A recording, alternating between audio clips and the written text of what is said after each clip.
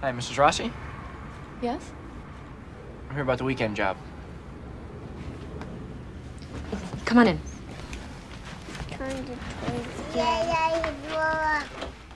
Sassy got pimples. He hates pimples. Francine, be quiet. Pimples. Pimples. Yay. Shush. I'm sorry. The school gave me your name, but I've forgotten it. It's Charlie. Charlie Simms. How are you, Charlie? Fine, thanks. Right this way. You're available for the whole weekend? Uh, yeah. You're not going home for Thanksgiving? No. Good. They put him in a veteran's home, but he hated it. So I told my dad that we'd take him. Before you go in, do you mind my telling you a few things? Don't sir him. Don't ask him too many questions. And if he staggers a little when he gets up, don't pay any attention. Charlie, I can tell right away you're the right person for the job. And Uncle Frank's gonna like you a lot, too. Uh, where are you gonna be this weekend? Oh, we're driving to Albany. Donnie, my husband, has family there.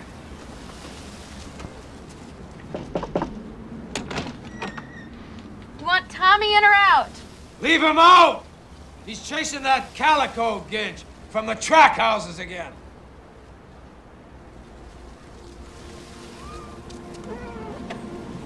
Down deep, the man is a lump of sugar.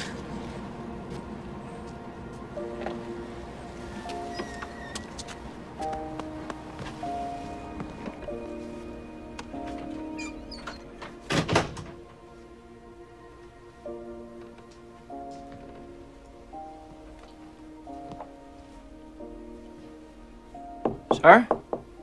Don't call me sir. I'm, I'm sorry. I mean, I mean, Mister, sir. Uh-oh. We got a moron here. Is that it?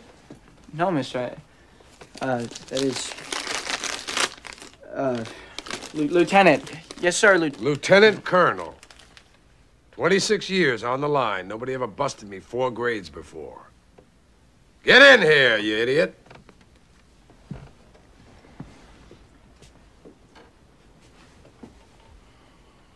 Come a little closer. I want to get a better look at you.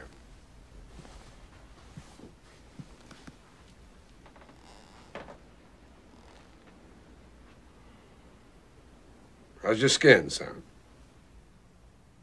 My skin, sir. Oh, for Christ's sake. I'm, I'm sorry. I, I don't. Just call me Frank. Call me Mr. Slade. Call me Colonel if you must. Just don't call me sir. All right, Colonel.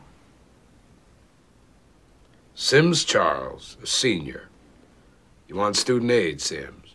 Uh, yes, I am. Well, For student aid, read Crook. Your father peddles car telephones at a 300% markup. Your mother works on heavy commission in a camera store. Graduated to it from espresso machines.